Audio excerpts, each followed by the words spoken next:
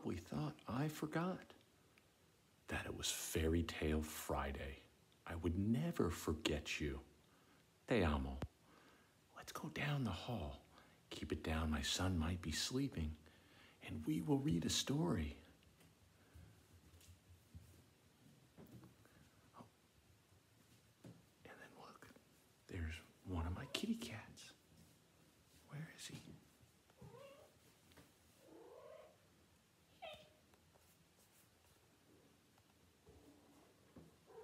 Maybe, maybe the kitty cat will read a story with us. Come on, come on, come with me. We will read a bedtime story. Here's where the magic happens the office of Ice Cush with various awards my children have won.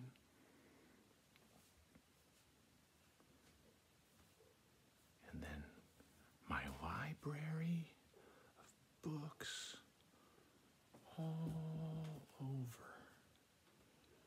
Look at the wonderful books. But I know what book you want. I know what book you want.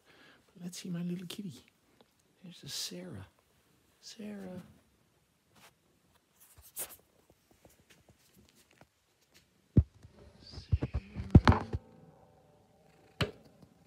Say hi to my students. Okay. It's nice that she's in here. She will probably like this story because today we will read from my big book of cat stories, a deluxe golden book. You look, it was actually my brother's book. Going all the way back to 1969. That's my brother Derek. Beautiful illustrations. So, what story shall we read? Oh, I know one The Cat and the Sick Chicken. One, um, I'm sorry, The Cat and the Sick Chicken, told by Marie Ponsot. Oh, here comes my kitty cat. She's gonna knock over the iPad. I, I don't think I could have even planned. Oh, oh, oh. Sorry for that interruption, children, but this cat is really being a bit of a pain. I don't know if Oh, no, no. uh, all right. Move along, kitty. Move along. It's story time. All right. The Cat and the Sick Chicken, told by Marie Ponsot. One April afternoon, Mrs. Chicken came down with a very severe cold. Her neighbor, Mr. Cat, heard about it. He set out at once to visit her.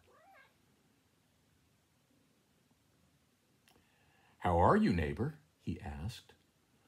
Colds are nasty things at this time of year. Can I be of help? I can keep you company, or read you something cheerful, or give you useful advice. All the while he was thinking, Perhaps, if she is very weak, she'll faint or at least fall asleep in her chair.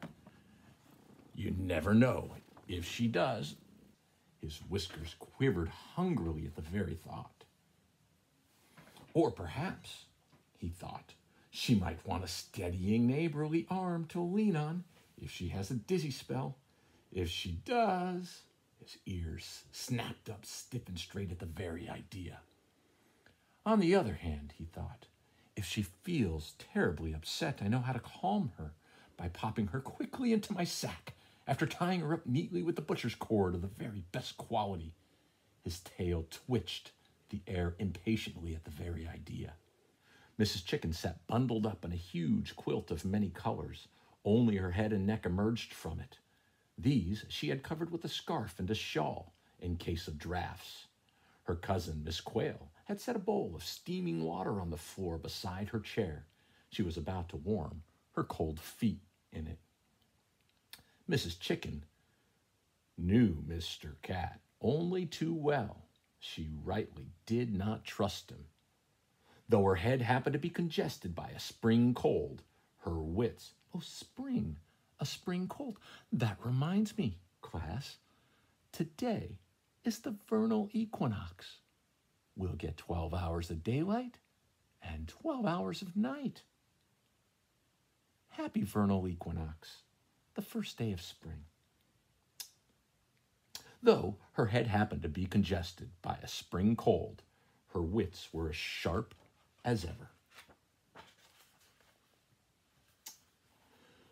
Wings drooping and eyelids half shut, looking far more feeble than she felt, she concentrated on how to get rid of her tricky visitor.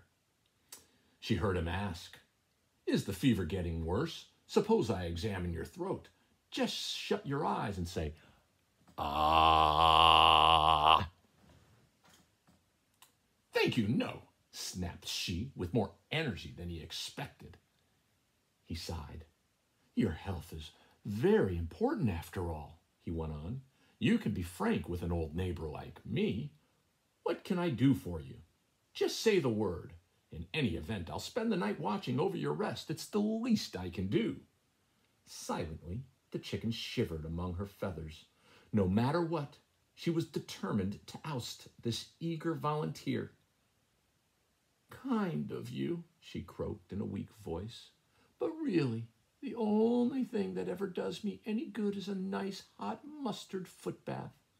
I feel so feeble all of a sudden.